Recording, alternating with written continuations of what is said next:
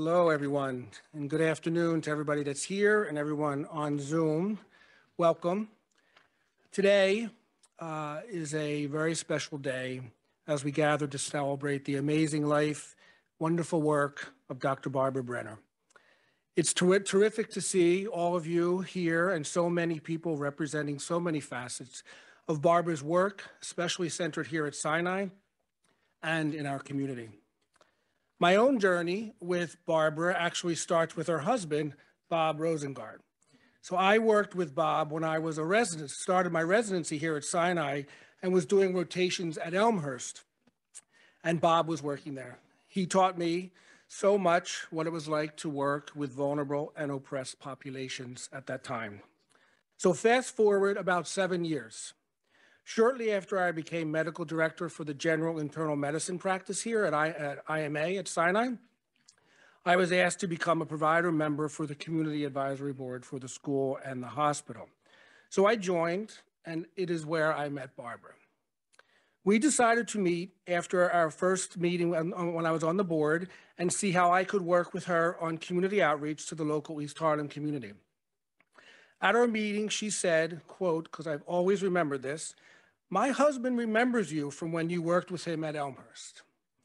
So she told me it was Bob Rosengard, and I remembered him fondly.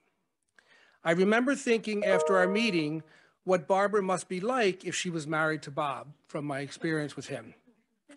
Wow, was I in store for a lot. I had no idea what I was in store for in knowing, working, and learning from Barbara Brenner. We went, we went on to work um, together for the next decade, along with others in this room, um, to provide health care, education, and medical care to the East and Central Harlem communities. During that time, Barbara mentored me in community advocacy and social justice, and continued to do so even after she retired. So we all have our stories and memories of Barbara, and today is a day we will celebrate all of them.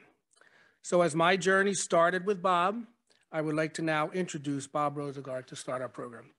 Bob?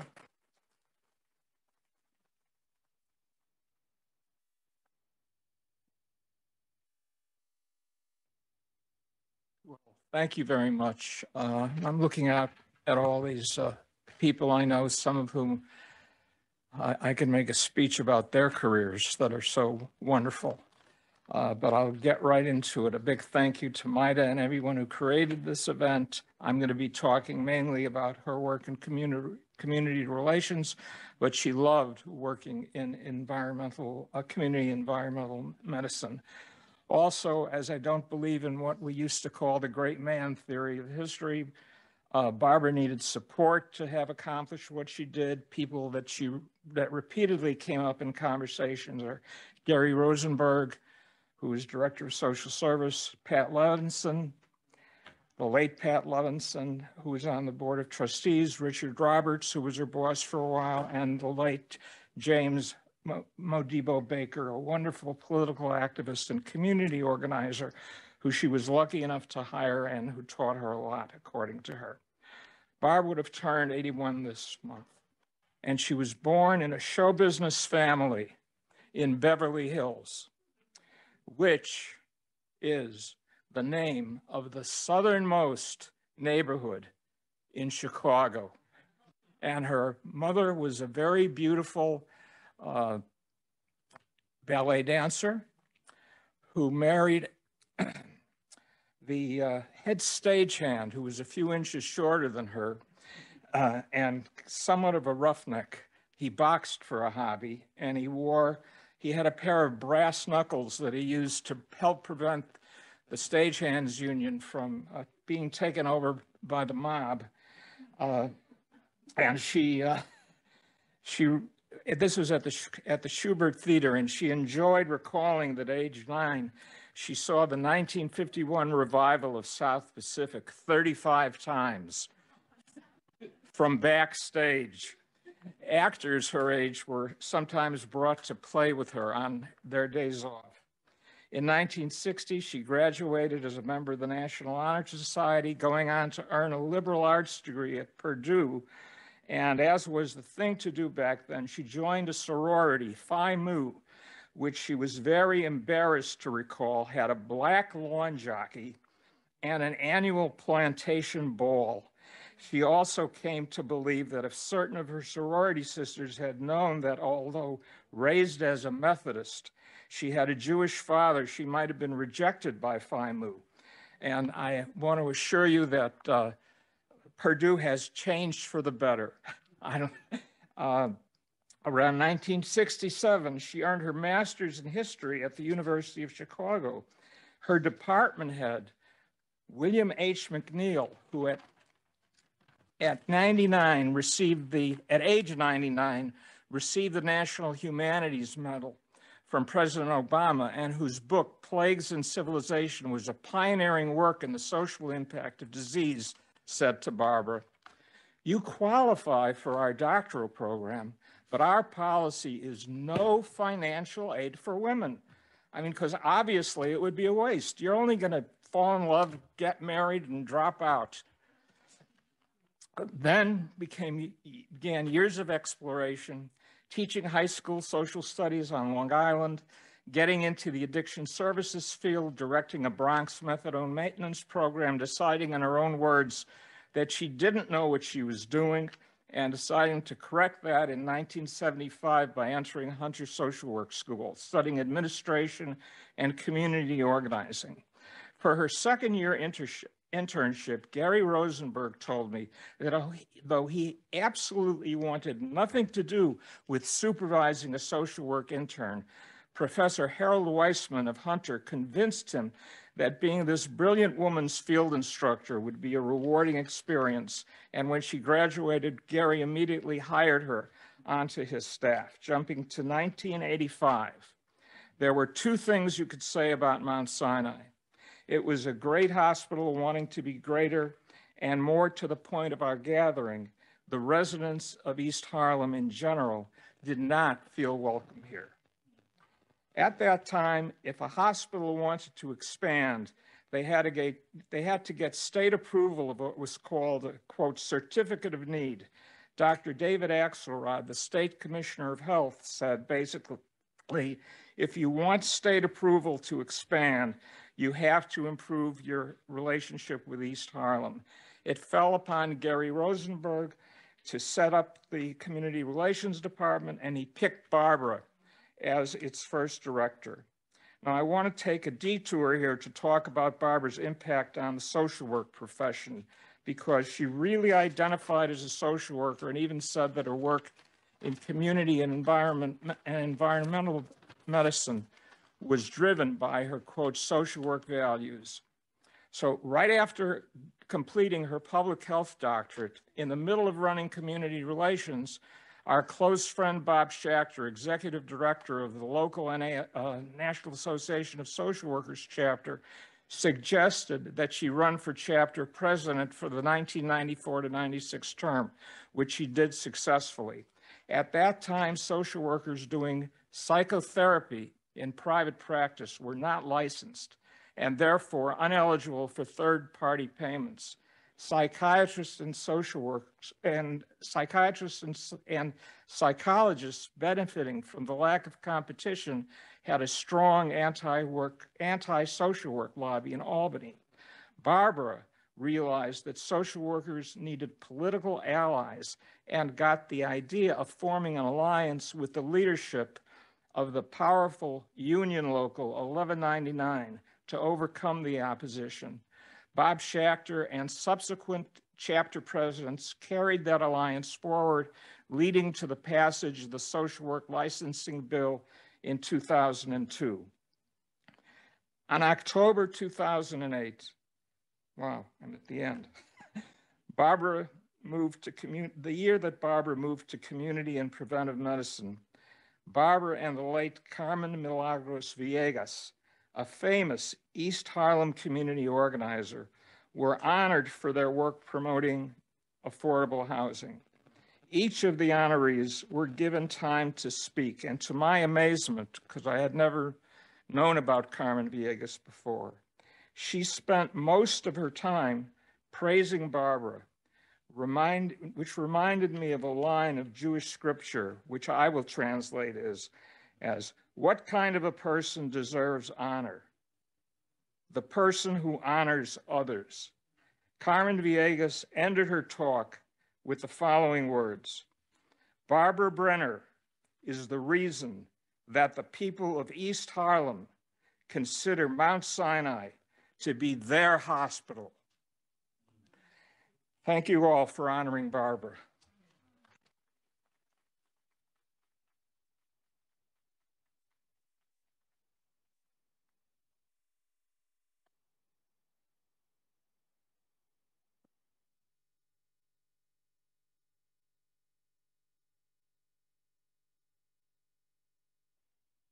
Hi, everyone. So we'll be getting started with our presenters, and I will be moderating. And I'd like to, for our first presenter, um, welcome Ellen Alpert, Linkage House Board Member.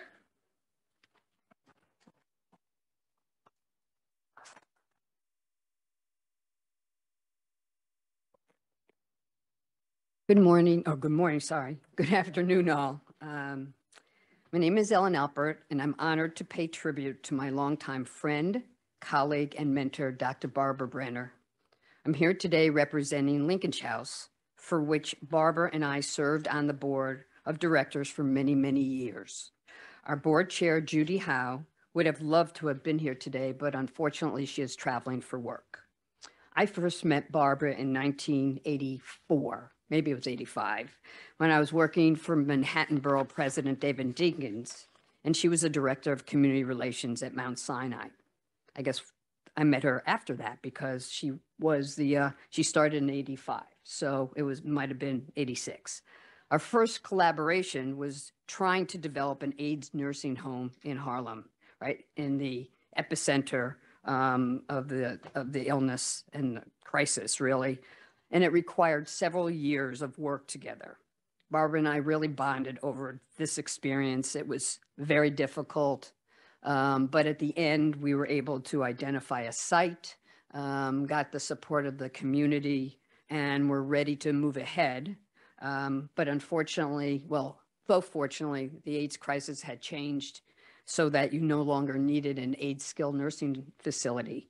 Um, so, but we, because we bonded that way and had worked together for so long, she asked me to come work for her at Mount Sinai after the Dinkins administration uh, was concluded in 1994, actually. Um, and I worked for her uh, to develop Project Linkage. Barbara and Judy were the creative force behind uh, Linkage House, um, and they, hold on. Um, the partnership was actually very unique. It was Mount Sinai spearheading the collaboration with three non-for-profits for, from East Harlem. The church next to the site, Emmanuel Baptist Church, Union Settlement, and the East Harlem Triangle led by Alice Kornegay, if anyone remembers Alice. Um, for those not familiar with Linkage House, it's a 70 u- unit independent residence for low income older adults located on East 118th Street between First and Second Ave. And this year, it is celebrating its 25th anniversary. So I want to give us a big applause, and Barbara, a big applause for that. Um, the concept of linkage drove the planning with a vision to link older adults with social and health services, the community, and younger generations. Barbara and Judy wrote several grants, which were integral to getting seed money for the planning of Project Linkage through UJA Federation and New York Community Trust. Barbara was also instrumental in creating the social services program at Linkage House and fought tirelessly to make sure there was a full-time social worker on the staff. She took the lead in writing a proposal to the Mount Sinai Auxiliary Board to fund the social worker, which they did for two years until the position was paid by the federal government. Barbara served as a mentor and continuous support to the social worker at Linkage House, and the social worker is here today, Alma Col- Col- Colazzo. I am so I'm thrilled that she's here, and she has many stories about her relationship with Barbara for many, many years. Everyone knows about Barbara's commitment to things she believed in and her passion to improve the quality of life of others in need. Linkage House was very much her baby, and she put her heart and soul into making it a safe and supportive environment for those who live there. As both long-term, longtime colleagues of Linkage House and as her friends, Judy and I will forever be grateful to Barbara for her leadership, focus, vision, and passion for helping others. Over the years, Barbara, Judy, and I celebrated, and maybe some of you in the audience did as well, celebrated many holiday meals with the Linkage House residents and staff, serving Thanksgiving meals, picking out raffle tickets um, from the jar that Alma had for gifts and passing out those gifts at holiday time. She truly loved the community she served. All of us, the Linkage Board, the staff, and residents miss her greatly, greatly, and you are forever in my heart, Barbara. I love you. Thank you.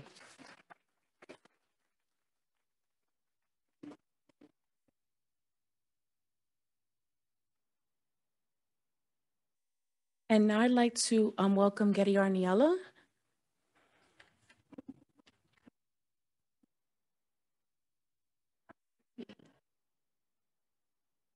Good afternoon, everyone. Uh, I just, I want to say that I'm so humbled to be here to speak about Barbara, who was a mentor. I knew I was going to cry. It's just, um, we didn't have an opportunity to mourn her after she passed last year. And um, so this is a very special occasion. Um, many years ago, I think it was like in 1994, I remember leaving like the social work grand rounds that were over in the 1425 building, and many colleagues were hustling toward a barely visible Barbara. Um, and I learned that she was the president of New York State NASW. I was in awe of her, and um, I quickly learned that she was a, a role model that I aspired to be like. I never got to know her when I worked here at Sinai, but years later, our paths crossed uh, at numerous community meetings and, and committees that we were serving on together. And little by little, I realized that she was someone I needed to know, someone who had so much I could learn from. Uh, she was a huge force in the social justice environment and the most dedicated community advocate intimately involved in improving the, the health of the East Harlem community. And everyone knew her, you know, and they all felt that she was someone who was always going to be at their side. And Barbara seemed to know everyone as well, right? And um, she was always so generous uh, with her time and her knowledge and always willing to help in any situation. The community knew that they could ask her for help with anything at all. And she always came through for them. Um, and if she didn't have an answer, she knew who to go to to ask for help to help the community members. So she never let anybody down. I think Barbara saw potential in me, which I'm eternally grateful for. Um, and she introduced me to Dr. Carol Horowitz, um, who was beginning a community-based participatory research project. Um, and so our long-standing relationship began. I just continued to absorb everything that she generously um, shared with me and patiently explaining and helping me to grow. Uh, you know, I'm a Bronx girl, so this was a whole new environment for me. Um, but Barbara mentored so many of us that um, you know, that many of us are here today, but um, that we all are carrying on her legacy of combating health inequities in our Black and Brown communities. Um, I'll leave you with a short story. So, as head of community relations here at Sinai, Barbara was planning a huge health fair during Harlem Week, which is like incredibly busy and, you know, thousands of people go to. And I was working at North General Hospital, um, and so we were working together. We we were going to help her with this um, to reach community members about the importance of health screenings, and we were keenly aware, first and foremost, that there was a rise in prostate cancer, and second, we knew that men, you know, they were really scared to get screened. Um, Barbara somehow enlisted one of the top urologists here at Sinai to come to the Harlem YMCA and provide these screenings for the men of Harlem. I mean, I, I was just flabbergasted that she was able to accomplish this. And we were able to screen so many men on that day. Um, so, you know, we miss her terribly, and we hope that we can do right by her in continuing her legacy. We're forever grateful. Thank you.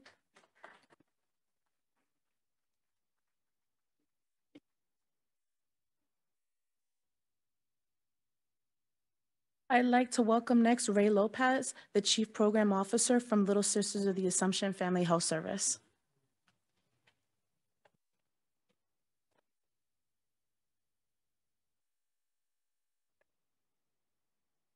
Good afternoon, everybody.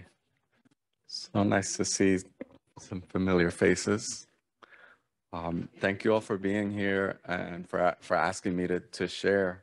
Uh, and hi, everyone uh, watching on Zoom.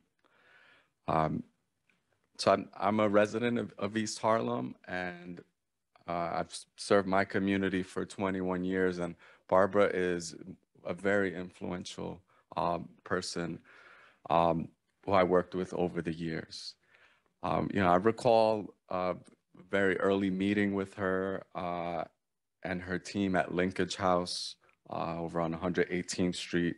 I was invited to learn uh, about the Growing Up in East Harlem uh, project.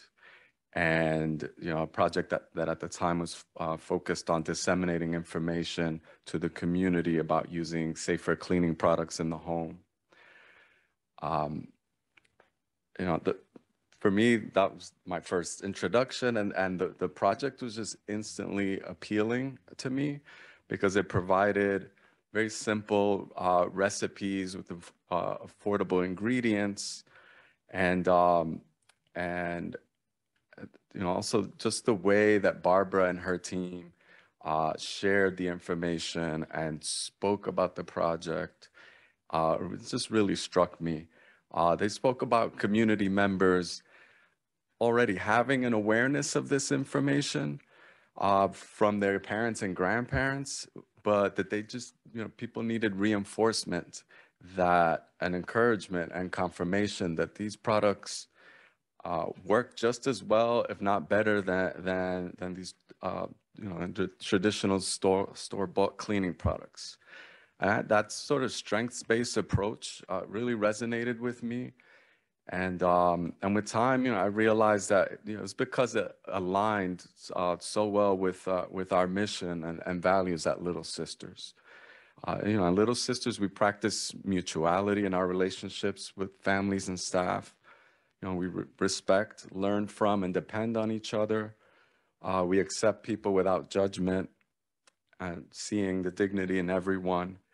And we recognize strengths and capacities, uh, expertise of, of each person. And the relationships are based in, in the principles of trust and e- equality and dialogue rather than power over one over the other. And so, you know, I saw that instantly, and uh, and you know, it, it attracted me to to build relationships with with her and the the people that she trusted uh, within Mount Sinai.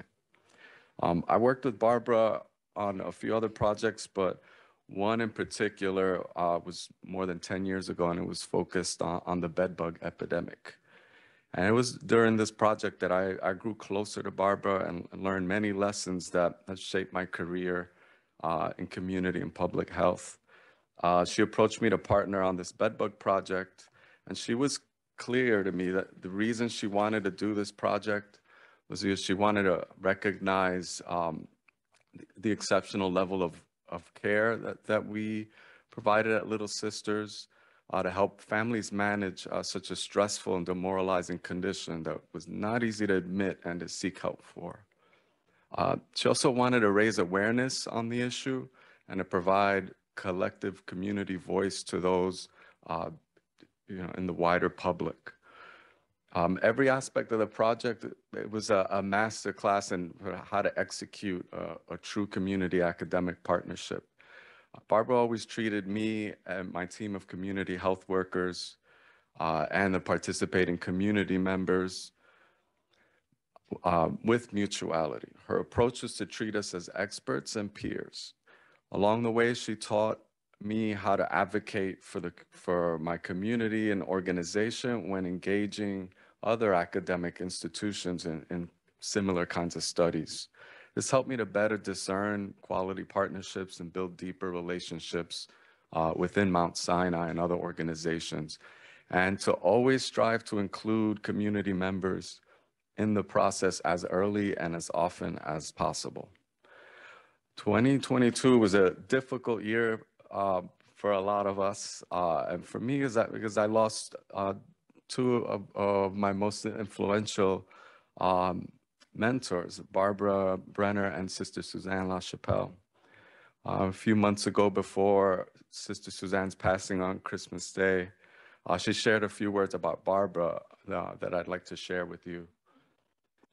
Um, Barbara was so good to me for months when I first arrived in East Harlem, so attentive to help make connections with people and institutions that could be supportive and helpful to Little Sisters with the Assumption Family Health Service.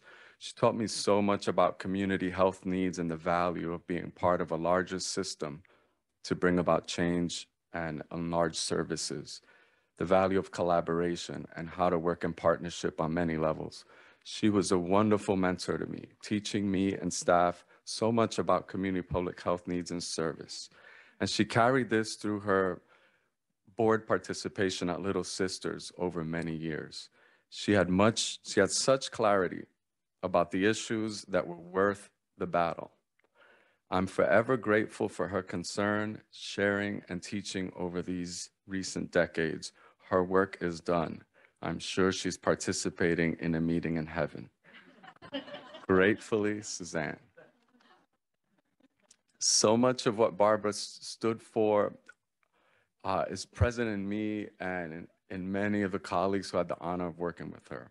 I'm truly grateful to have crossed paths with her, and I'm confident that together we'll continue to build towards reducing these health disparities in East Harlem, a community that Barbara loved and served. Thank you.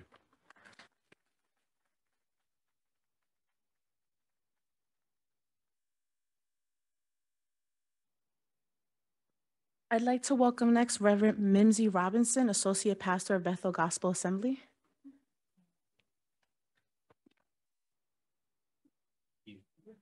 Good afternoon, everyone. I am tempted, and I think I'm going to go with it and say, let the church say amen to everything we've heard. So, amen, amen, amen. Truly, I can say it's an honor to stand here and speak of my friend, Barbara Brenner. And I say to you all, good afternoon. Um, Pastor Mimsy Robinson, as you've already heard. Um, Bob, what a pleasure to meet you.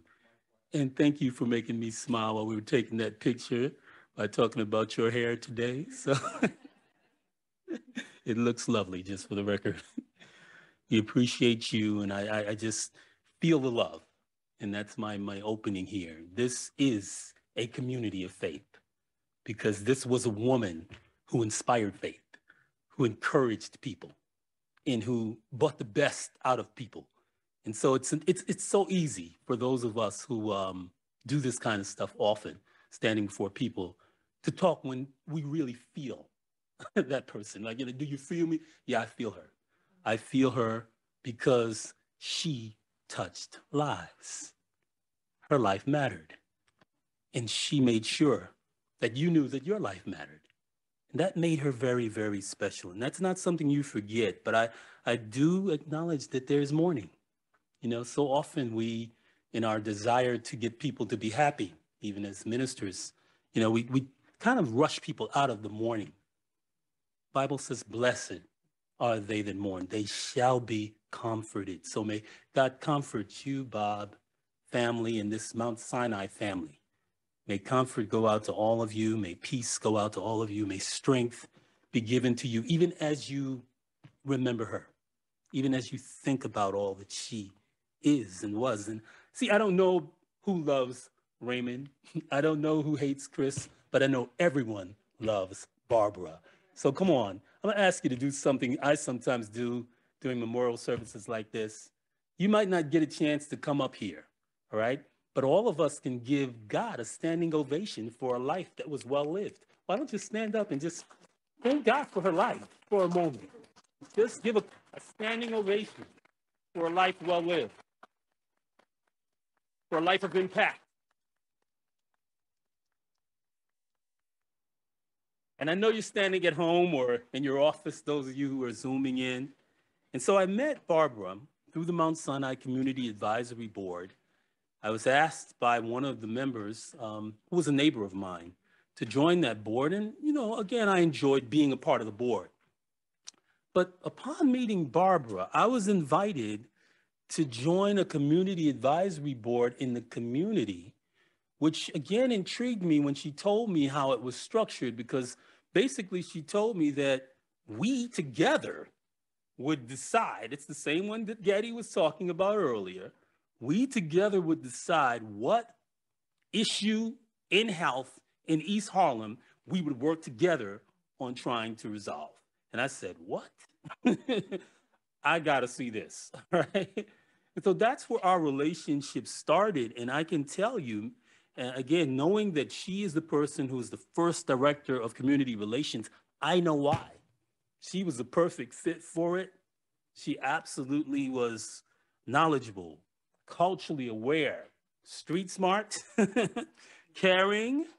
She was, as already has been stated on some level, a medical justice pioneer who quietly helped chart a new path for hospital and community relations, and even public health research for that matter. Dr. Barbara Brenner's life mattered. She met, she left a mark on, I think, everyone's heart.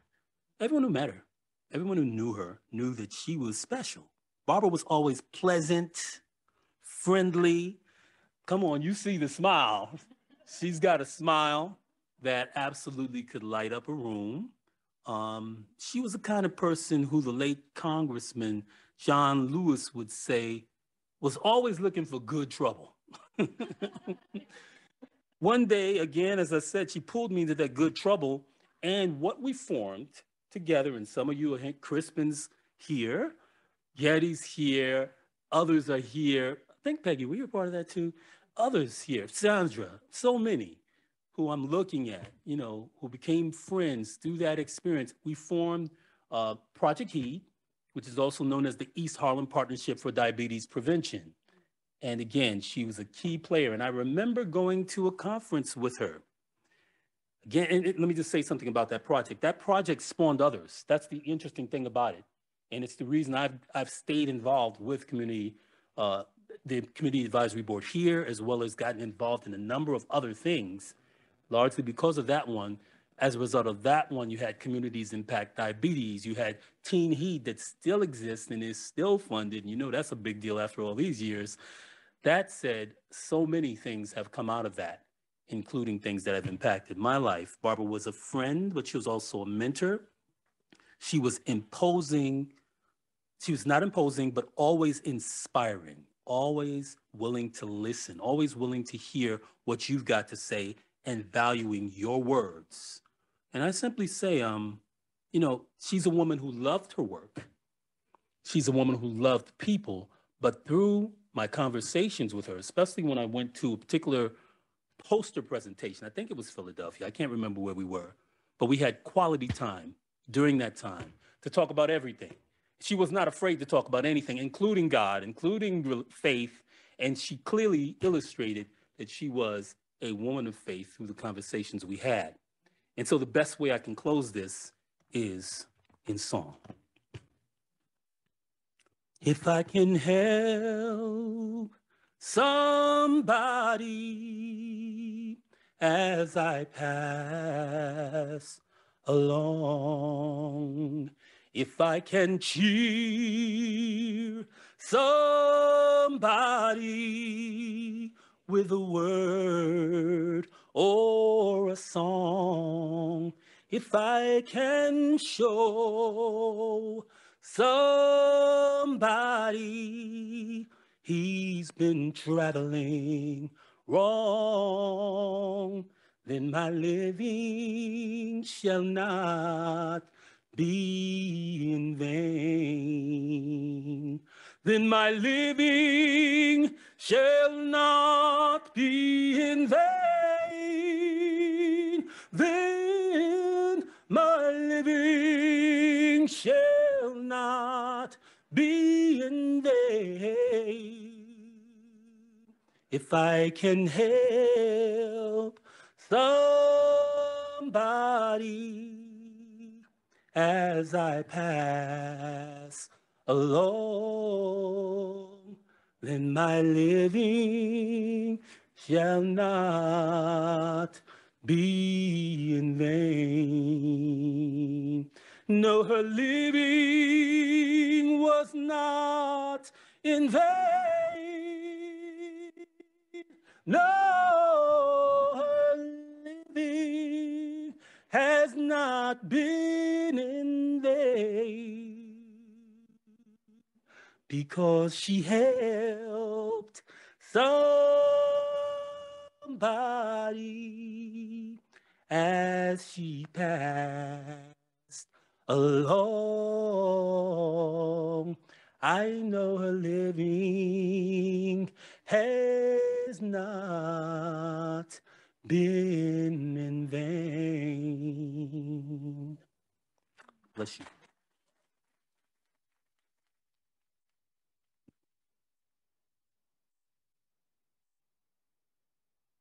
I have, I have to pause there for a minute, so if I start to cry. Um, I'd like to welcome our next presenter, um, Peggy Shepard, the co-founder and executive director of We Act for Environmental Justice.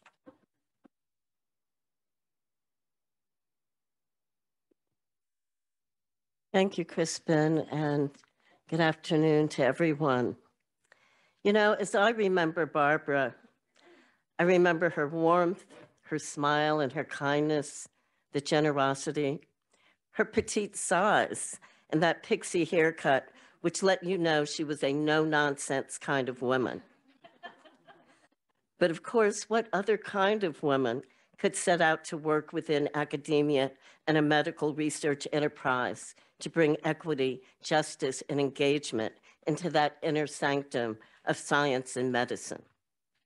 Barbara had to struggle to open hearts and minds to the reality of the conditions that so many residents are living in.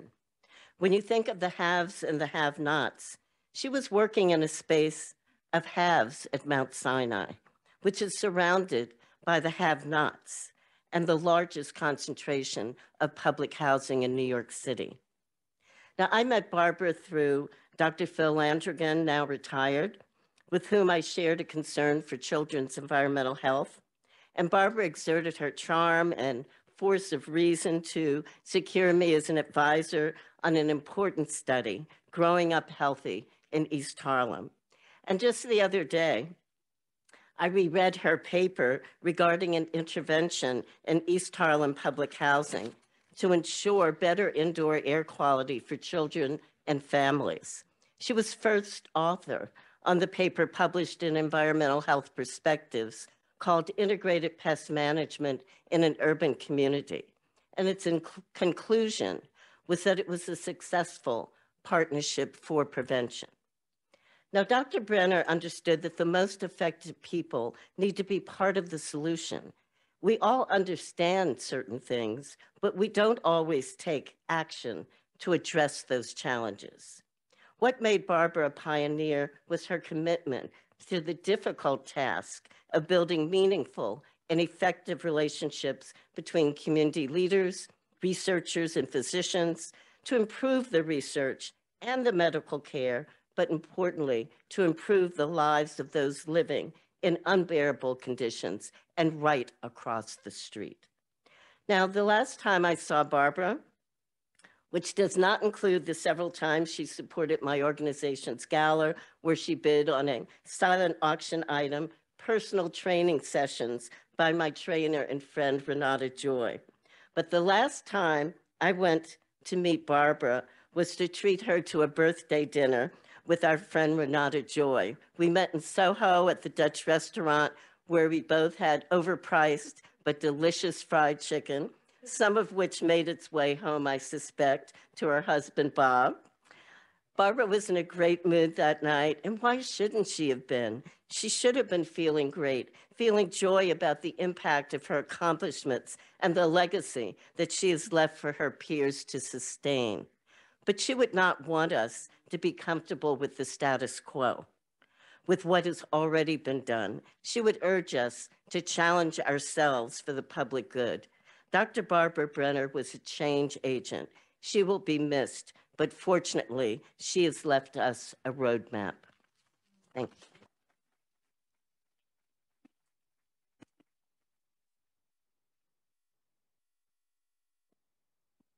And I'd like to welcome Sandra Talavera, um, part of the study of aging and African American Latinas or understanding dementia, Salud, community liaison, Fordham University and the Icahn School of Medicine at Mount Sinai. Good afternoon, everyone. Uh, my name is Sandra Talavera. I'm a social worker and a resident of East Harlem. I first met Barbara in the late 80s. My mother-in-law was on the board of Linkage House, Petra Allende. And so I had the opportunity of, of meeting Barbara in, in the late 80s. And I worked in and collaborated with her through various New York City and East Harlem organizations. So some of them have been mentioned already, the National Association of Social Workers, Mount Sinai Senior Caring, Linkage House, Little Sisters of the Assumption, the East Harlem Community Health Committee, and the East Harlem uh, Partnership Diabetes Prevention, the 11-year community-based participatory research. During the 90s, when she was president of NASW, she asked me to be part of her executive committee. But I was relatively young in the field and I was very insecure uh, as a new board member of NASW, and I respectfully declined. I subsequently, subsequently accepted the role, but under another president. And she occasionally and very diplomatically always reminded, reminded me of my choice that I had made back then and reassured me that I could have worked with her uh, very well, even though I was very young and inexperienced back then. Throughout the years, I observed and learned of Barbara's commitment and humility in interacting with the East Harlem community. Her advocacy, her mentorship, her intelligence, her analytical and critical thinking skills, and incredible insights of people and institutions Anytime I work with her in any of these projects, I was continuously learning from her uh, with all of these uh, skills. She was, needless to say, committed to improving the community's access to healthcare and quality of life. And she did so in many ways, much of which has been already said. And she certainly knew to engage many of us as volunteers as well, serving uh, Thanksgiving dinner to Linkage House senior residents and to be part of the community-based participatory research. I remember seeing her work tirelessly next to her Mount Sinai Community Relations team, interacting with the community with utmost respect and humility at street fairs and special events through Central and East Harlem. But most of all, I remember her as a great listener, an empathetic woman, always asking me about my family and my professional endeavors with keen interest and support. I will also remember her lovely red lipstick and always coordinated with her red nails. She, I was honored with her presence and Bob's in our home. We invited her and we did have occasion to go out occasionally. And even after she retired, she occasionally would call me to see how I was doing, to see how my uh, mom, who suffers from Alzheimer's, was doing. And she always made the time to listen and to make herself available to provide support.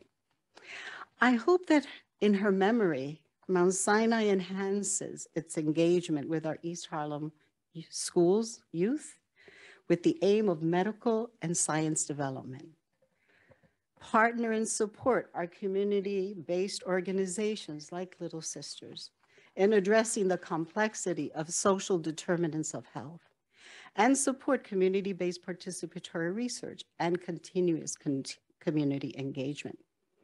I trust that Barbara is in the company of many of our East Harlem pioneers and advocates, such as Petra Allende, Alice Kornegay, Modibo Baker, Carmen Villegas, Sister Suzanne LaChapelle, Nelly Rivera, and Ellen Simon. I miss my friend and colleague. May she rest in peace.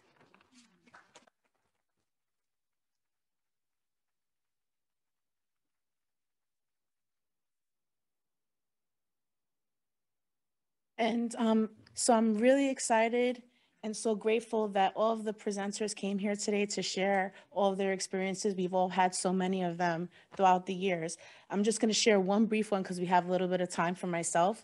When my husband and my and my father died nine and a half years ago, she came to my house and sat with me.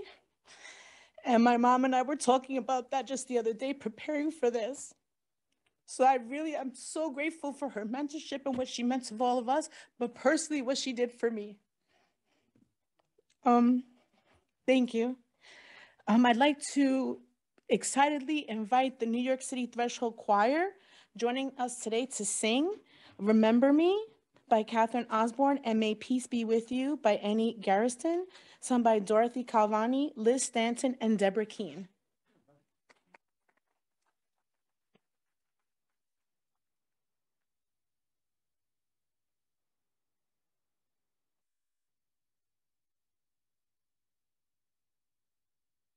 It's a great honor to be here today. Thank you very much for inviting us. I actually knew Barbara um, when I worked at the Little Sisters of the Assumption. I, I am also retired um, from that wonderful organization. so it's a great honor and a privilege to offer you these songs, we hope, of comfort and um, solace. Yeah. Remember me, remember me. I am the stars in the sky, the eagles that fly. I'm always nearby. Remember me, remember me. Waves on the sea, the ancient oak tree. Reach out and touch me. I'm in every breath you breathe as the wind blows. I'm in the sunlight dancing on your hair. Remember me, remember me. I am the dark of the night, the moon's silver light. I'm holding you tight. Remember me, remember me. Ooh.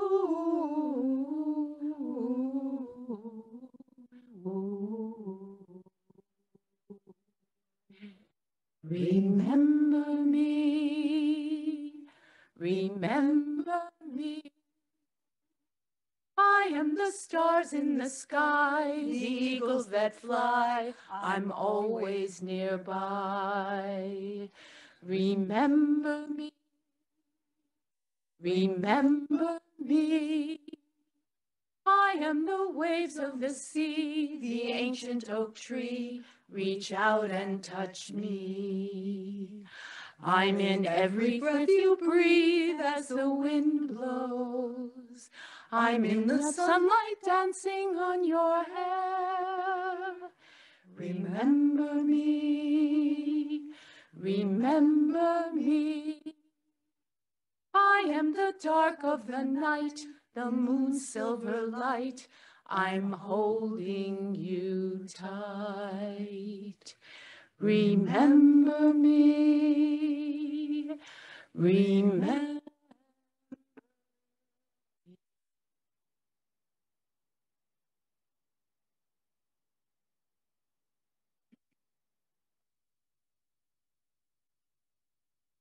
May peace be with you. Peace be with you now. May peace be with you always. Peace be with you now and always. May grace be with you. Grace be with you now. May grace be with you always. Grace be with you now and always. May love be with you. Love be with you now. May love be with you always. Love be with you now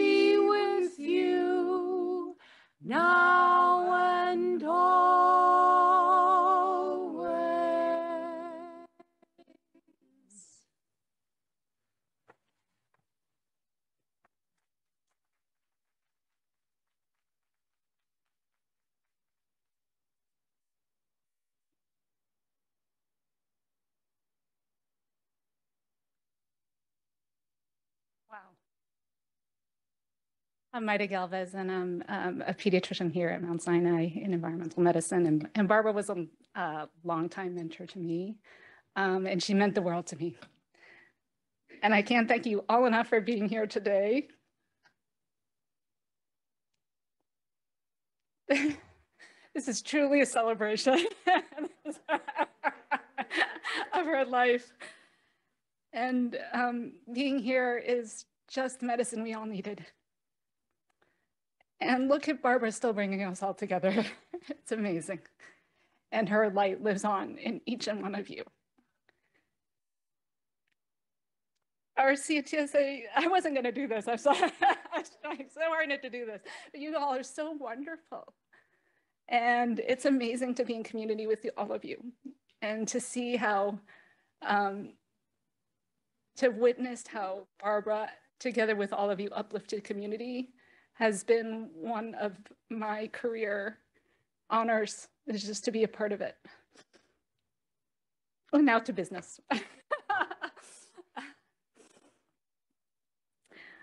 Today serves as our promise to center and uplift community in all we do. Our CTSA community collaboration team, together with our community engagement team, would like to officially announce a call for proposals for community pilot mini grants. We plan to award three New York City community-based organizations at $15,000 each so they can work to build their capacity to respond to community-partnered research proposals and do the good work that Barbara led for so long, together with all of you. The short application be- can be found on our Mount Sinai Exposomics website, and um, you can see the QR code here. And the deadline is March 3rd. This funding opportunity reflects our commitment to carrying on Barbara's legacy.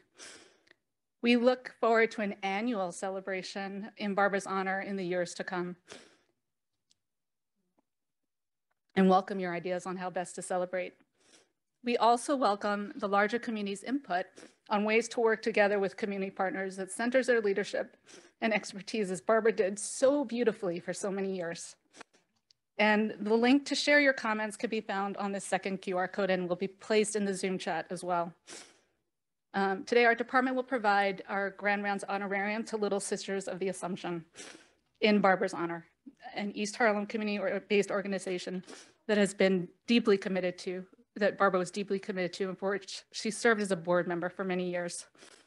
Um, and donations in Barbara's honor can be sent to Little Sisters of the Assumption Family Health Services. Very special thanks to all our wonderful speakers today. To Bob Rosengard for sharing Barbara with all of us for so long. For Reverend Mimsy and the choir who lifted our spirits with song. And to the incredible team that I get privileged to work with every day, the CTSA and the P30 Community Engagement Team, working to translate research to action together with partners. Um, very special thanks to our Department of Environmental Medicine and Public Health, the leadership who truly made this event possible, and just a special round of applause for all of those people, but also for the event organizers who are behind the scenes, um, but do extraordinary work each and every day. Giselle Candelario, Hannah Choi, Alison Devia, Carla Zar, Valeria Menendez Rosas, and Abiyad Yachaksadeh. With that, our celebration continues next door. I believe this is her birth month. Is that correct, Bob? So let's have a party. Maybe they'll be dancing. Maybe they'll be singing.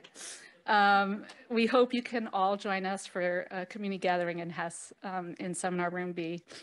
Thank you all so much for being here, both in person and virtually. And we consider today a call to action to continue the work. Thank you all.